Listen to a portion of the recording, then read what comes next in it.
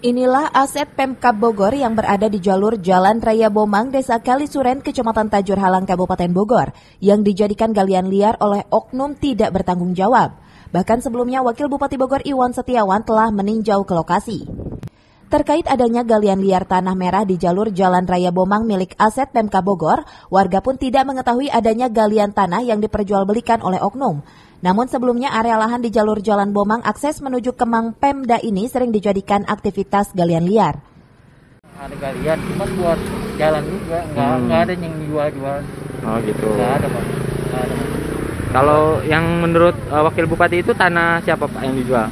Kurang tahu ya. Oh. Kalau tanah Bupati itu. Hmm, siapa? Katanya Bupati yang jual gitu. Maksudnya ada yang ok oknum oh, yang jual? Nggak ada. Oh, gitu. Tahu saya nggak ada.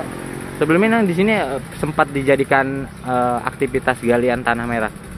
Galian dulu, dulu hmm. galian kan dulu perataan semua perataan pertama hmm. itu perataan, perataan kan dulu tahap dua nih baru buat pengecoran ini dia perataan buat jadi diambil buat jalan ini. Oh buat jalan juga.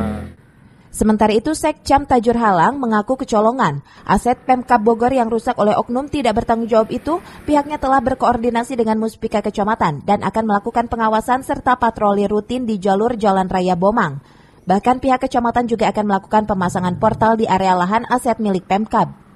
Pengetahuan saya dan melihat kenyataan di lapangan, memang kelihatan ada ada yang tadinya tanah itu datar, sekarang agak terkait digali. Jadi ada kepinjangan antara yang jalur satu dengan jalur dua tengah-tengahnya kosong. Hmm. Nah, pimpinan saya Pak Camat tadi malam juga udah sampai malam-malam dia lihat bagaimana kenyataannya hmm. dan menghimbau kepada masyarakat situ kalau ada oknum yang berani menjual tanah kurgan itu ke pihak lain hmm. ya tolong segera menyampaikan laporannya ke kami. Ya kami kan punya polisi yang punya Pol PP hmm.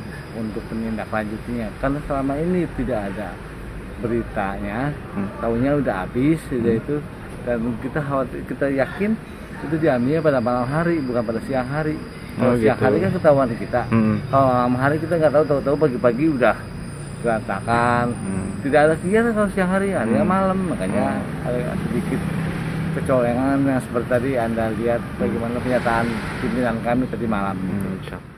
Dari Tajur Halang, Kabupaten Bogor, Suhanda Abrizi melaporkan.